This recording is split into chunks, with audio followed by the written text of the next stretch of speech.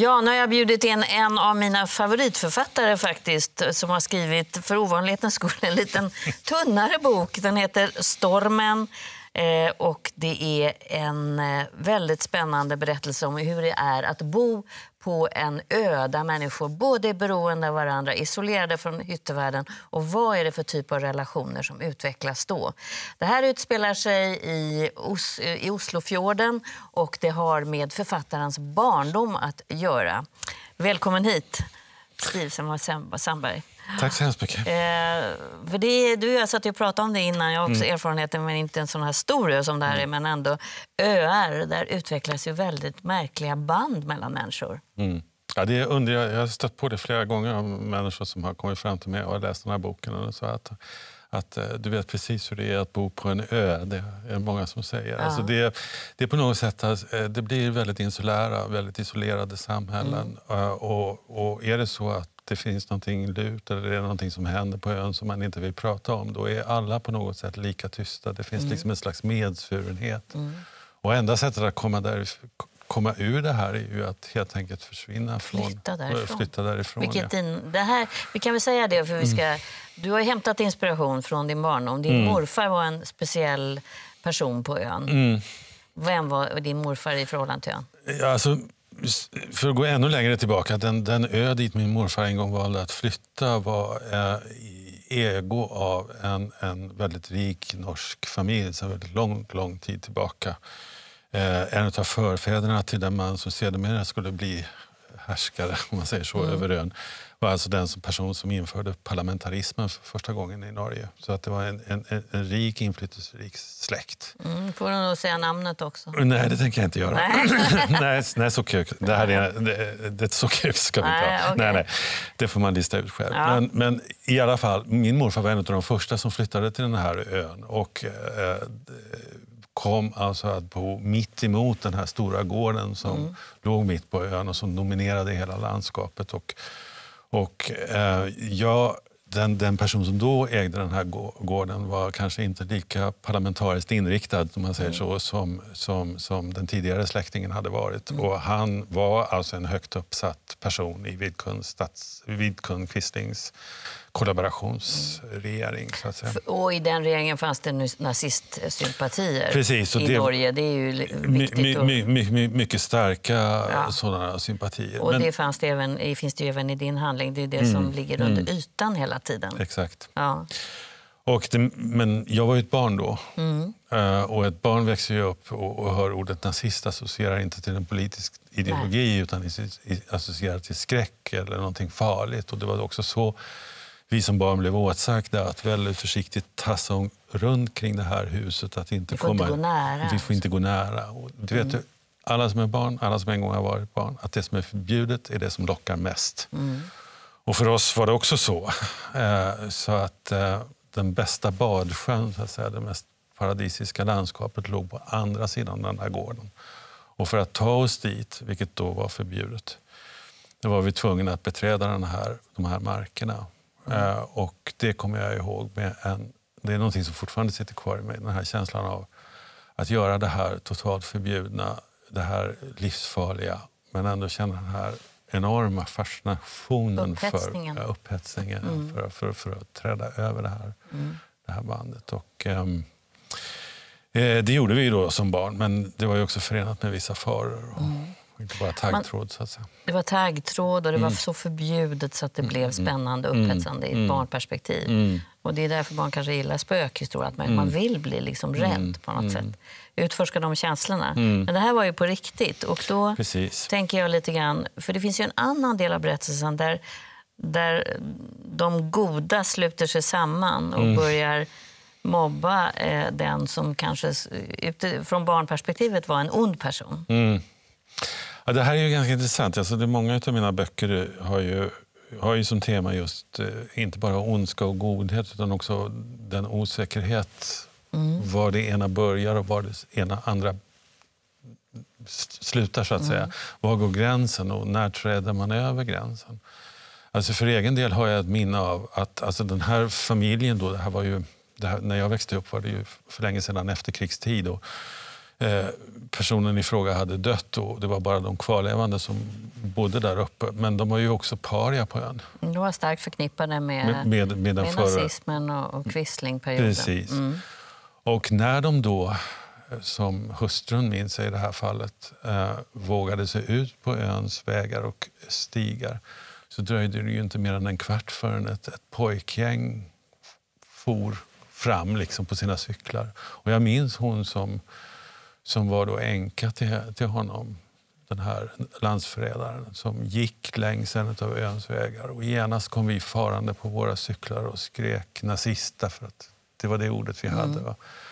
Eller ännu värre saker och dängde våra skolväskor i, i huvudet på henne. Och, och, och, så, och så var hon en utstött, en, mm. en paria. Och ondskans beteende fanns hos oss, inte uppe på den här gården. Och den här skevningen mm. i perspektiv är ju någonting otroligt intressant. Därför att ondska är ju inte uteslutande, det här har du och jag pratat om förut, det är mm. inte någonting som man bara kan peka på från stort avstånd utan någonting som är så obehagligt just därför att det finns latent inom oss alla och mm. vad som helst kan utlösa det. Och en sån här plats, det vet ju du om du själv har vuxit upp mm. nu, att en sån här plats där, där finns det inget utlopp för någonting utan allting finns på den här ön och, och konflikterna på den här ön bearbetas oavbrutet och kan ta sig just såna här uttryck. Man tappar ju perspektivet också för att man gruppen blir viktigare än någonting mm. annat. För mm. Om man inte är med i gruppen och man är utstött mm. och då kan man mm. hamna i den här situationen som kvinnan mm. på cykeln, mm, bli misshandlad. Ja. Men du, vad hände med dig när du började utforska de här krafterna där du själv var delaktig? Alltså jag har lite grann tänkt på dem. Jag skrev ju två stora böcker innan, som du vet. Vi har pratat får... om dem. Den ena är, utspelar sig i ett getto i, i, i Polen under andra världskriget och den andra är Fattiga i, Fattiga i Woods. Heter Woods den. heter det, ja, och det. den fick du Augustpriset för också. Precis, och mm. också ytterligare en. Och de här två stora böckerna tar ju ganska stora grepp på mm. historien mm. också, så att säga. och på ondskan och mm. på godheten då eventuellt. För mig var det kanske viktigt att skriva en lite mindre bok, lite enklare och friare berättad som kunde titta på samma tematik fast utifrån ett kanske mer privat perspektiv. Mm. Som många fler kanske kan identifiera sig med. Tror jag. För att det är så lätt att titta på de stora historiska skillnaderna. Mm. Det där, det var dem, mm. så hade, det hade aldrig hänt mm. mig eller mm. oss. Och det är ju här får man ju mycket mer, det tänkte jag när jag läste det, att mm. man kommer ju mycket närmare här och mm. tänker att det här kunde varit jag eller jag som barn eller vad, vad man är vuxen också. Det var det som var meningen. Ja, och det känner man ju. Det blir kusligt. Och då är frågan, eh, vad väckte det till liv hos dig? Som jag frågade. Fick du någon sån känsla av... Skäms man så där, även fast du var ett barn och tänker att varför gjorde jag så där? Nej, alltså det var väldigt, väldigt många känslor som väcktes till liv. Alltså framförallt var det ju eh, en, en tanke om att, att alltså folket uppe, i, uppe på gården, som det kallades då, det var ju människor som vi aldrig någonsin fick träffa eller fick någon form av bekantskap med. Vi visste ingenting om dem. helt enkelt. Ni kunde ju, er fantasi kunde göra Precis, och vår helst. fantasi hade helt fria tyglar. Och vi, vi, skapade oss också bilder av de här människorna mm. som, som ju sen eh, inte, inte stämde, Nej. naturligtvis. Och, och, och, och, så var det ju också med, med, med, alla andra på den här ön. Att man, man, skapar fantasiföreställningar, fobier, skräckföreställningar som sen, i och med att det inte finns en verklighet som möter dem, mm. så träder de i verklighetens ställe.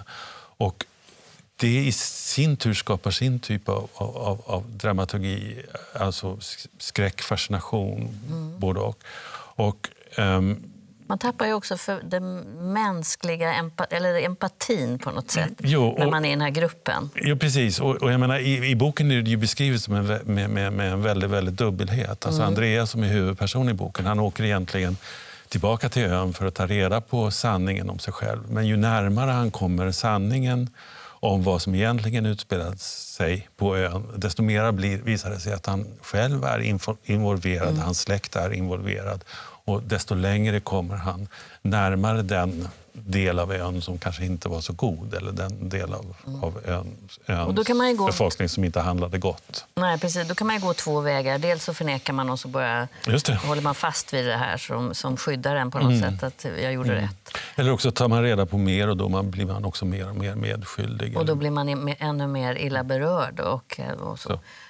Så det finns ju starka krafter att lägga locket på Precis. sådana här händelser. Det har man ju sett också genom historien. Precis. Ja, vad har hänt med människorna på ön när de, har de läst din bok? nu är ju min ö en, en fiktiv plats. Ja, man kanske Folk envi, envisas med att detta är en fiktiv ja. plats. Men, men jag menar, det, känslorna finns från din Känslorna barndom. finns och jag tror, inte, jag tror inte det behöver vara en speciell ö i och för sig. Och det behöver inte vara ett speciellt krig som det råkade vara i mitt fall. Det bara förstärker mm de här konflikterna. Men jag tror att konflikterna finns i varje samhälle, i varje grupp som på något sätt är isolerad och där mm. liksom vattnet inte rinner friskt. Det är en, en metafor i min bok. Det är det, det stillastående på något sätt som mm. skapar de här konflikterna. Och, och, och, jag tror att varje samhälle, varje liksom villaförort eller vad du nu vill, mm. så, så, så, finns, så finns det här. Och, och då, vad jag försöker göra som författare är helt enkelt bara att bena ut och titta på det från olika håll. Och, så, och det tror jag, jag ska... att läsarna också kan göra. Man kan, kan, gå in i den här boken från många olika håll. Det ska man som du, romanförfattare, hoppas att man når fram genom sådana här berättelser mm. och får människor att tänka efter.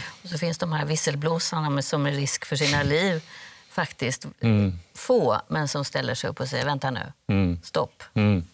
Och det är också intressant. att det, mm. Men det här är ju, jag tyckte väldigt mycket om den här och den, eh, man, eh, det är bra att titta inåt på sitt eget beteende. Det får man verkligen känsla av här.